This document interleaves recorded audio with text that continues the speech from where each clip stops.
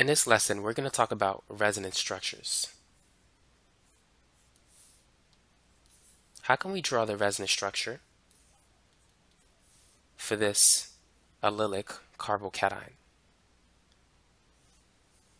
The first thing you should do is you should start the arrow from the double bond and it's going to flow towards the positive charge. Electrons will flow from a region of high negative charge towards a region of low negative charge, or from negative to positive. And so the arrow is always going to go from the nucleophilic region of the molecule to the electrophilic region of the molecule, or ion in this case. So the resonance structure for this allylic cation looks like this. The double bond is going to move to the right side and it's going to trade places with the positive charge. Since this carbon lost pi electrons, it now has the positive charge. This carbon lost a pi bond, but it regained it on the right side, so it doesn't have the positive charge. Now, which of these structures is the major resonance contributor? Is it the one on the left or the one on the right? Both of these are primary allylic carbocations, so they're equally stable. So there is no major or minor resonance contributor in this example. The resonance hybrid is actually a blend of these two resonance structures. So the pi bond is shared among the three carbon atoms, and so is the positive charge. It's actually shared between these two carbon atoms. So they both carry a partial positive charge, or you could say half of a positive charge if you divide it by 2.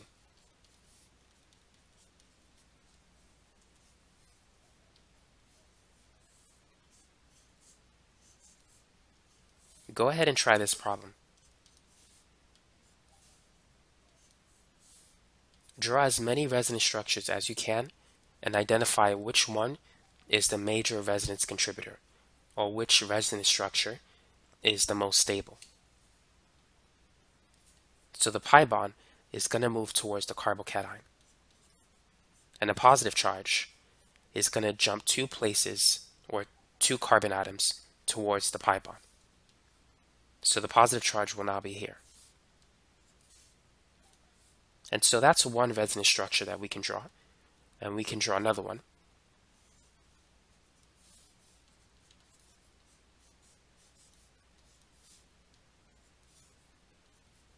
So the plus charge is going to jump two carbons to the left, so it's now on that carbon.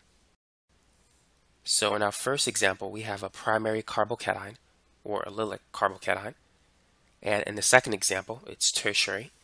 And in the third one, it's secondary. So therefore, this one is the major resonance contributor because a tertiary allylic carbocation is more stable than a primary or secondary allylic carbocation. So recall that tertiary carbocations are more stable than secondary ones, which are more stable than primary ones. So if we compare, let's say, a tertiary carbocation with a primary carbocation, it's important to understand that the methyl groups are electron donating groups relative to hydrogen. As a result, they can donate electron density to the carbocation by means or through the sigma bond, which is known as the inductive effect, or through the overlap of atomic orbitals, which is known as hyperconjugation. And so, a carbocation with more methyl groups or more carbon atoms attached to it is going to be more stable than one that has less.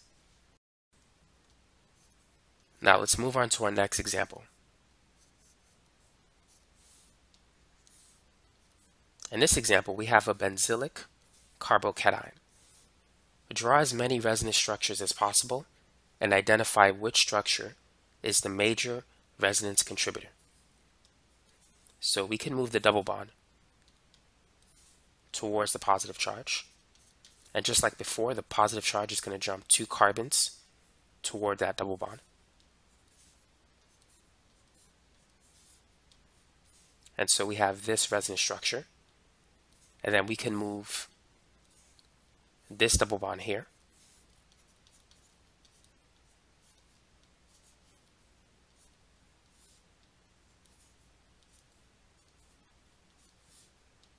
giving us our third resonance structure. And then we can move this double bond in that location.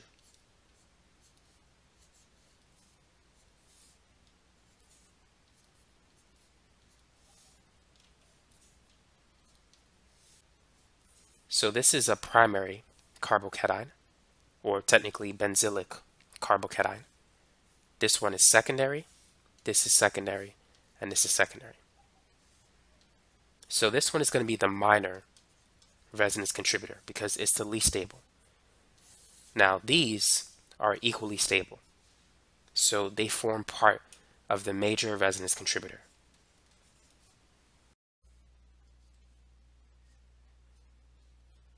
Now going back to the last problem, there's one more resonance structure that we can draw out of the common ones.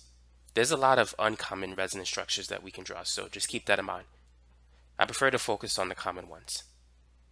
So we could take this double bond, move it to the plus charge, and we'll get this answer. It's similar to the original answer, but notice that the double bonds in the benzene ring have been shifted. Now let's move on to our next example. Draw the resonance structure of the benzene molecule. All we can do here is simply rotate the pi bonds.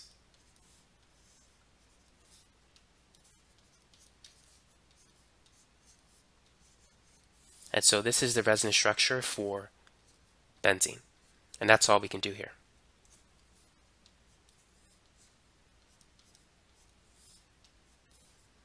Now what about for the carboxylate ion?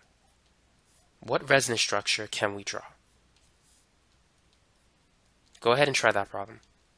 So what we can do is we can take a lone pair from the negatively charged oxygen, use it to create a pi bond, and then break this pi bond.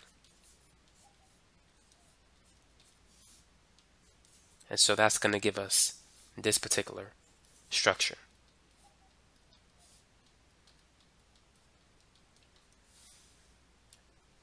Now, these two structures are identical, and so they're equally stable. There is no major or minor resonance structure in this example.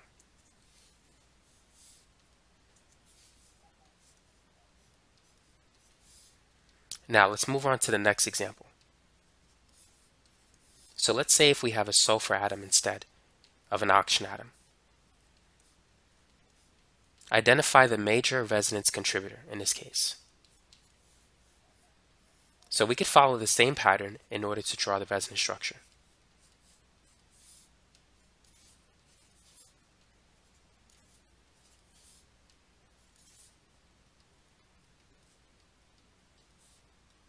So the question is, is it better to put a negative charge on the oxygen atom or on the sulfur atom? Now granted, oxygen is more electronegative than sulfur. So that fact favors oxygen. However, sulfur is bigger than oxygen. And let's say if we have a small atom versus a large atom. If we were to make each atom an ion by giving it a negative charge, which charge is more stable? A big ion is more stable than a small ion assuming they have the same charge.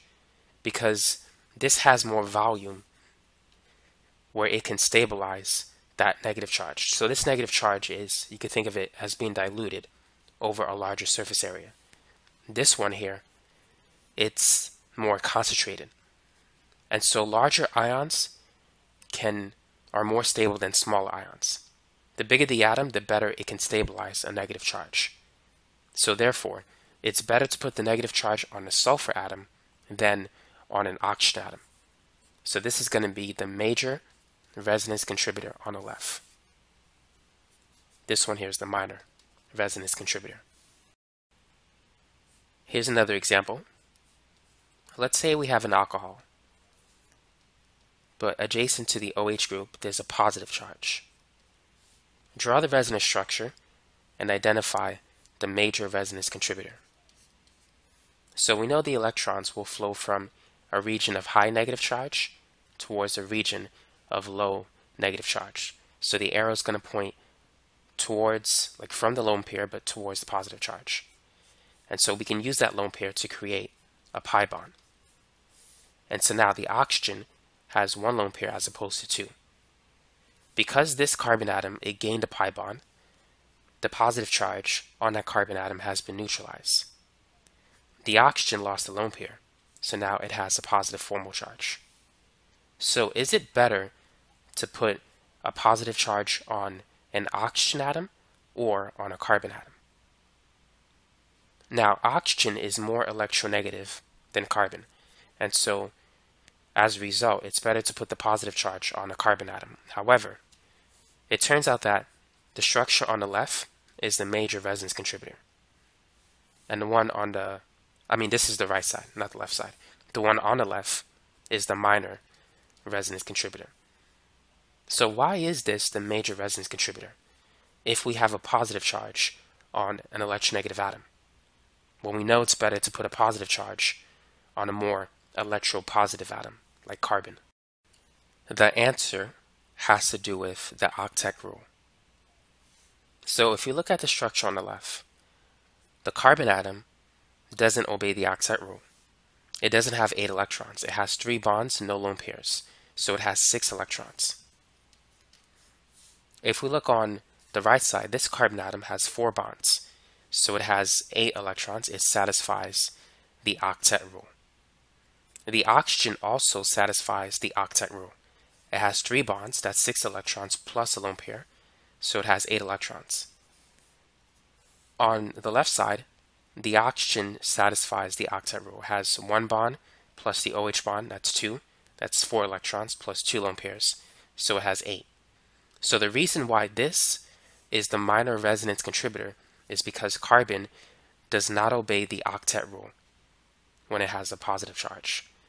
And so that's why you'll see that when dealing with resonance structures, it's better to put the positive charge on the oxygen atom as opposed to the carbon atom to satisfy the octet rule. So electronegativity is not a priority in this example.